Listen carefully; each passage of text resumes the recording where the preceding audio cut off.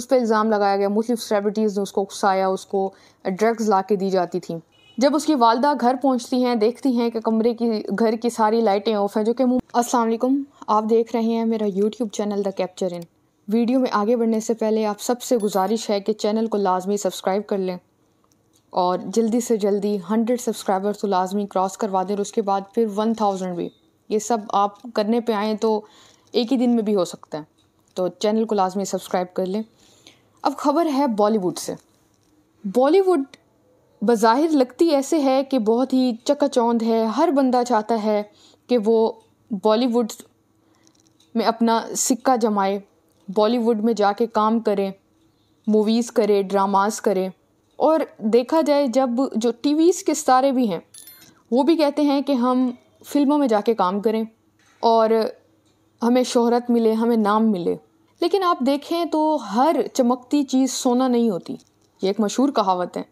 इसी तरह से मुख्तलिफ़ सुशांत सिंह राजपूत का मैं आपको बताऊँ। आगे चल के मैं आपको जिया, ये जो वीडियो है, ये जिया खान पे है, जिसकी 2013 में कहा जाता है कि सुसाइड में मौत हुई, लेकिन उसकी वालदा का जो मौक़ है, वो ये है कि मेरी बेटी ने सुसाइड नहीं किया, उसका कत्ल किया गया, उसको उकसाया गया था सुसाइड पे।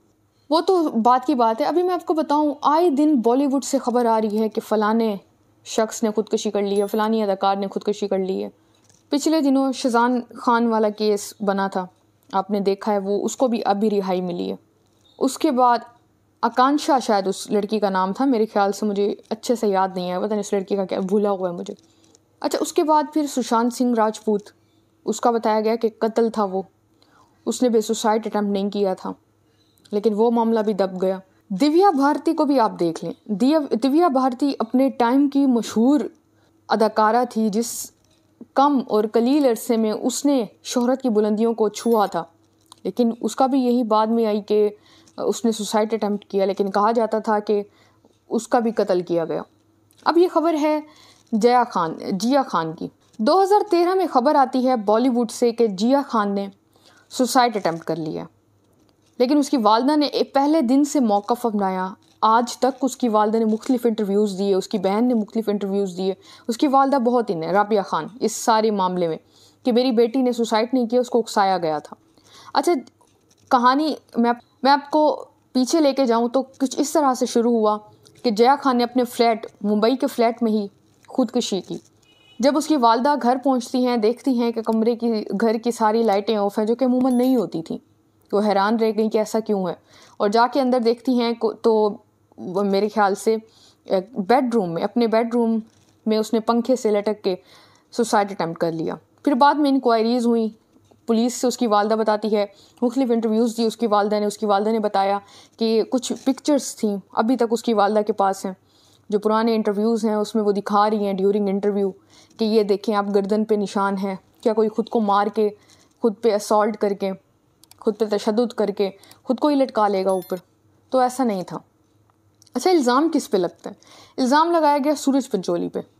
आदित्य पंचोली का ये बेटा है सूरज पंचोली।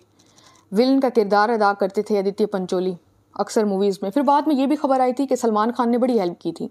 दोबारा इंडस्ट्री में आने में, क्योंकि कैरियर तबाह हो चुका था सूरज पंचोली का, जब ये सारा मामला हुआ। कहीं ना कहीं कुछ लोग ये भी बताते हैं कि आदित्य पंचोली को जया जिया ने, जिया खान ने ये इंसिस्ट करना शुरू कर दिया था कि वो शादी कर ले उससे। लेकिन वो अभी शादी नहीं करना चाहता था, अपना कैरियर बनाना चाहता था।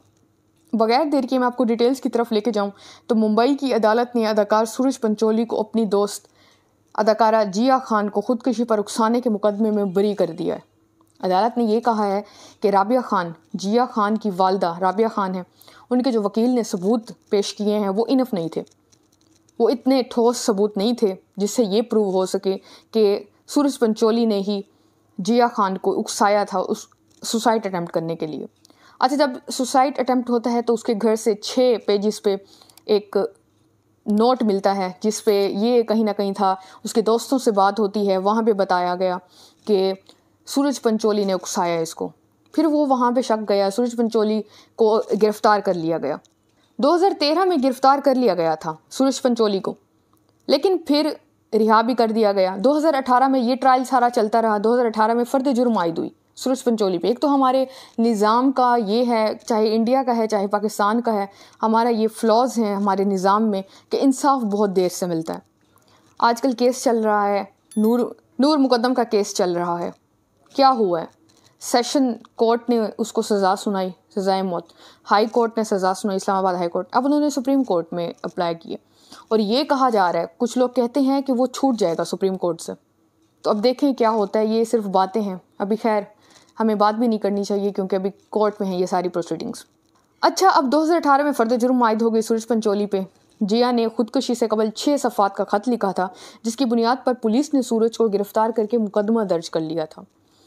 ख़त में जिया खान ने सूरज पंचोली के साथ अपने संजीदा, सूरज पंचोली के साथ अपने संजीदा ताल्लुकात, हरासानी हरासमेंट और जहनी और जिस्मानी अजियत के बारे में लिखा था। अब सीबीआई ने कहा कि इस खत में जया ने इल्ज़ाम लगाया कि उसने हरासमेंट से तंग आकर खुदकशी की है। अब 2021 में सेशन कोर्ट ने कहा था कि इस मामले की तहकीकात सीबीआई ने की। इसलिए ये मामला उसके दायरे इख्तियार से बाहर है, जिसके बाद उसे ये जो केस था सीबीआई में ट्रांसफ़र कर दिया गया। समझ लें, अभी सेशन कोर्ट का फैसला आया है। अब इसकी वालदा ने ये स्टांस लिया है कि वो हाई कोर्ट में अप्लाई करेंगी हाई कोर्ट से ऊपर फिर सुप्रीम कोर्ट भी है, लेकिन देखें क्या होता है। दस साल सिर्फ़ सीबीआई में गुजर चुके हैं, समझ लें सेशन कोर्ट में गुजर चुके हैं, आम अल्फाज में अगर आप समझें तो। उसके बाद हाई कोर्ट का आप अंदाज़ा लगाएँ, फिर सुप्रीम कोर्ट का। खैर, उसकी वालदा बड़ी लंबी जंग लड़ रही हैं, शुरू से 2013 से 2023 आ चुका है। अब जया की वालदा राबे खान ने मुख्तलिफ़ इंटरव्यूज़ दिए और सी बी आई की अदालत को भी बताया कि सूरज जिया के साथ, बदसलूकी के साथ साथ नाजेबा इस्तेमाल, नाजेबा अल्फाज का भी इस्तेमाल करता था। अब राबिया खान ने अदालत में अपने बयान में कहा था कि पुलिस और ना ही सी बी आई ने कोई सबूत इकट्ठे किए कि उनकी बेटी ने खुदकशी की। अब इंडियन, अब जया खान ने अंग्रेज़ी अदब और फिर अदाकारी की तालीम हासिल की थी। और ये काफ़ी मशहूर अदाकारा अपने टाइम पे काफ़ी मशहूर हो रही थी। आमिर खान के साथ सुपर हिट फ़िल्म गजनी में भी काम किया। उन्होंने आखिरी फ़िल्म हाउसफुल थी, उनकी आखिरी फ़िल्म जिसमें वो अक्षय कुमार के मद मुकाबल नज़र आई। इसी तरह से आप देखें दिव्या भारती के साथ हुआ था, उसने भी बहुत शोहरत की ऊंचाइयों को हाथ लगाया था, शोहरत पे थी और फिर अचानक से उसकी कम ही उम्र में उसका इंतकाल हो गया। अब अदालत ने जो मौक़ अपनाया है, आज सीबीआई ने जो फैसला दिया, वो ये दिया कि राबिया खान के वकील ने ठोस सबूत नहीं दिए, जिसकी वजह से नहीं कहा जा सकता कि सूरज पंचोली ही मेन सस्पेक्ट हैं सारे केस में। और कहीं ना कहीं कुछ फ्लॉज भी हैं इस केस में जानबूझ के छुड़ाया गया सूरज पंचोली को, ये भी कहा जाता है, और मुख्तलिफ़ चीज़ें हैं। खैर, आप देखें तो बॉलीवुड में आए रोज़, कोई ना कोई भोजपुरी अदाकार अदाकारी, इस पर मैंने वीडियो बनाई थी, अगर आपने चैनल को फॉलो किया हुआ है, सब्सक्राइब किया हुआ है तो आपने देखा होगा, उसने भी सुसाइड अटैम्प्ट किया था, उसकी, उसके बॉयफ्रेंड के साथ कोई ताल्लुक ठीक नहीं थे, वो पैसों का तकाजा कर रहा था, उसके पैसे इस्तेमाल कर रहा था। इसी तरह से सुशांत का केस था, उस पर इल्ज़ाम लगाया गया, मुख्तलिफ़ सेलिब्रिटीज़ ने उसको उकसाया, उसको ड्रग्स ला के दी जाती थी। और फिर उसके बाद दिव्या भारती का आपके सामने है, वो डायरेक्टर के साथ उसके शादी थी, मेरे ख्याल से या ताल्लुकात थे, वो उस वजह से उसका कत्ल हुआ। ऐसे मुख्तलिफ़ हैं, अगर उठा के आप देखें तो सिर्फ़ ला लातादाद आपको चीज़ें मिलेंगी, सुसाइड की। खैर, अपना फीडबैक इस लाजमी दीजिएगा चैनल को सब्सक्राइब करें वीडियो को लाइक भी करें शेयर भी करें, अपना ख्याल रखें, अल्लाह हाफिज़।